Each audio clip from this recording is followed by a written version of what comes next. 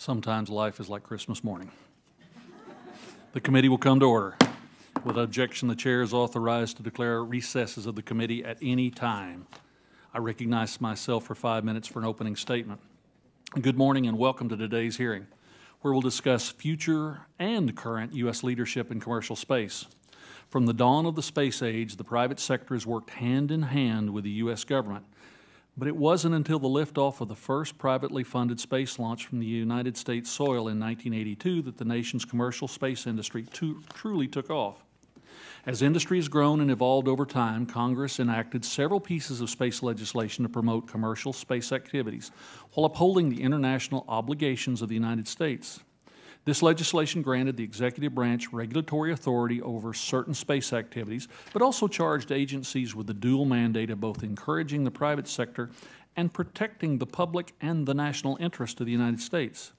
Today, the United States is a world leader in commercial space activities.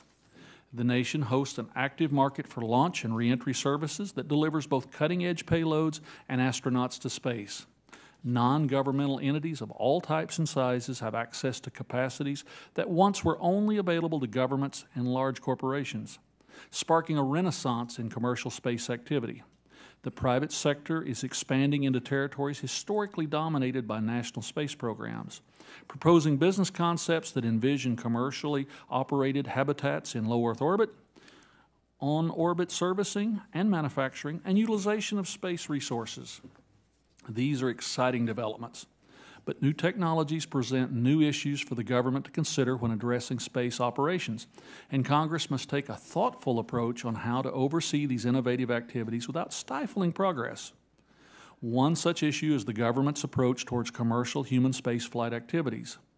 In the early 2000s, Congress authorized the Secretary of Transportation to regulate aspects of commercial human spaceflight but not until after the expiration of a learning period that would allow industry time to grow and supply regulators with data to inform appropriate regulations.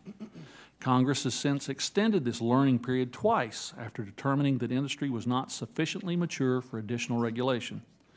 The most recent extension granted in 2015 will expire at the end of September. Congress must determine whether the current state of commercial human spaceflight merits an additional learning period extension or whether to let the learning period come to an end.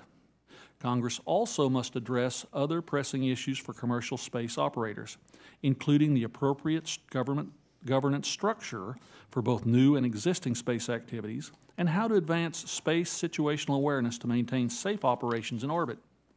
As this committee prepares to consider commercial space legislation, it's imperative that we keep U.S. international competitiveness at the top of our priorities. Ensuring a robust commercial space sector is key to maintaining U.S. leadership in space and technology. And other countries, friendly and otherwise, are actively engaging in space activities. Some seek to create a favorable environment for space companies, offering incentives, incentives for both investment and regulatory perspectives. Our legislation must be carefully written and executed to create a favorable environment here at home and prevent U.S. companies from turning into overseas destinations that promise speedy authorizations with minimal restrictions.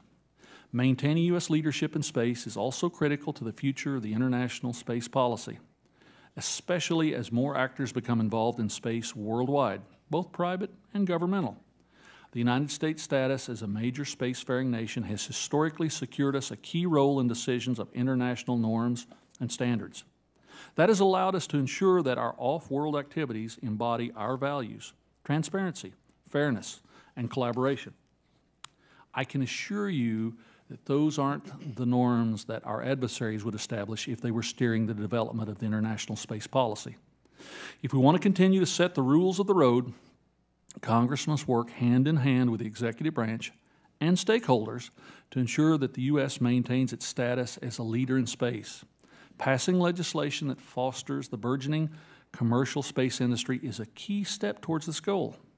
As our committee develops this legislation, we'll keep these major considerations in mind a thoughtful regulatory environment that supports innovation, a competitive approach to grow our domestic industry, and a focus on maintaining U.S. leadership in international space policy.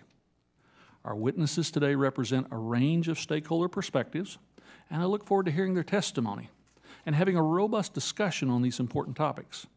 I now recognize the ranking member for uh, his comment, opening statement.